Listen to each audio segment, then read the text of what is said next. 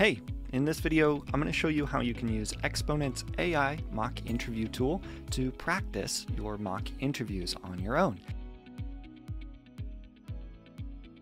Maybe you're not ready to connect with a peer to do a peer to peer mock interview, or you have a real interview coming up and you're not yet comfortable on camera or in your communication skills. This AI mock interview tool is going to evaluate your answers and then, based on real interview rubrics, is going to give you feedback on how you can improve your answer for next time. So let's check it out. First, navigate to tryexponent.com slash practice. Right now, I'm logged in as a member, and if you're logged in, you'll see this option to start an AI interview.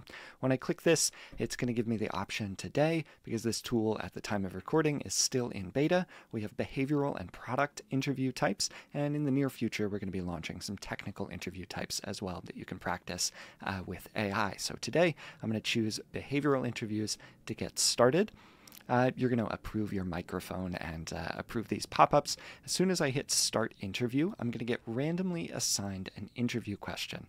Uh, this is supposed to mimic the real world environment, of course, where you don't know what interview questions are going to get asked. So it's important to be prepared kind of for whatever comes. Uh, you'll also see an option, maybe if it's a question that you've practiced already, you will be able to cycle through it.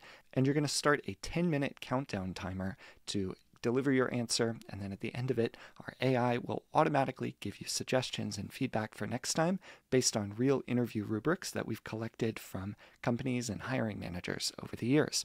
So I'm going to hit Start Interview. I'm going to see what question I get and start my answer. So the question that I received today is tell me about a time that you made a mistake. You can see that the audio is already recording. Uh, there is no video component for this because of anonymity and privacy concerns at the moment, but that's something that we're working on in the near future. So I'm just going to go ahead and answer this question really quickly and we'll see how I did. And if you want to skip past my answer and just see what the feedback looks like, you can jump to the end of the video.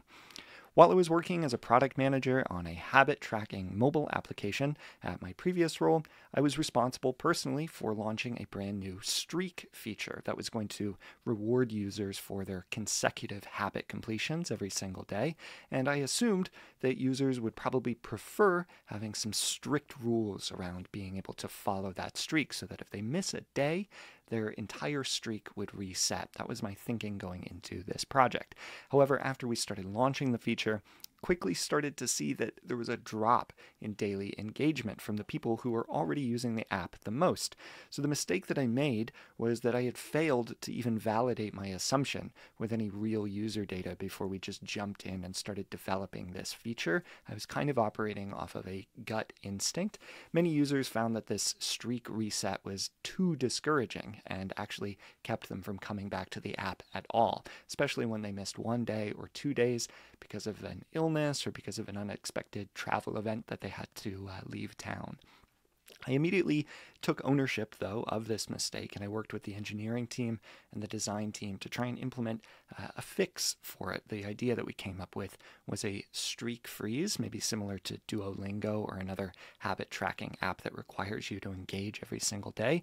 And this allowed users to prevent their progress from being dropped in certain cases, like I mentioned, maybe vacation or, or feeling sick on a particular day.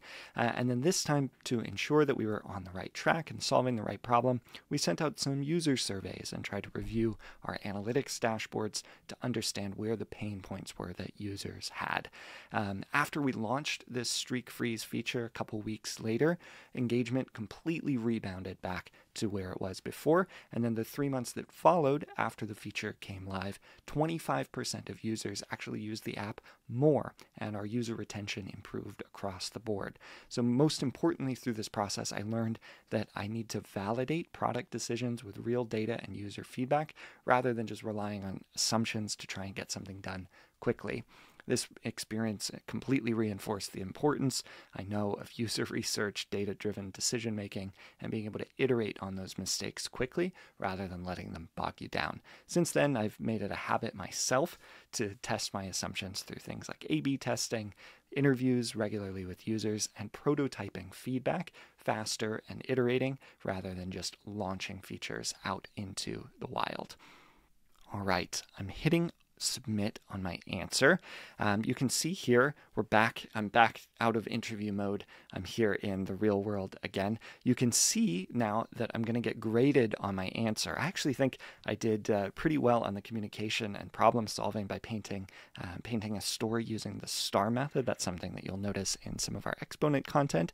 But here you can see uh, that I, this is something I would admit to. My answer didn't really mention a lot of collaboration opportunities. I talked once about working with the engineers, uh, but didn't talk about how um, that, that process could have been improved or how I involved them in later steps as well. And maybe depending on the role that you're interviewing for, the collaboration aspect might be helpful. Uh, yeah, as we're developing this product, you can, of course, provide feedback to us on how well um, the summary was or this transcript of the call. You can see all of the audio and dialogue was uh, recorded and transcribed there. This is accessible later. You can come back and review the AI feedback that we provided to you. And just reiterating that the uh, communication, problem solving, and collaboration grades that you receive here are based on the rubrics that we've received both from FANG companies and startups on how they grade candidates in real world interviews, oftentimes listening for what was the situation, the task, and the actions and results that came from the projects that you were working on.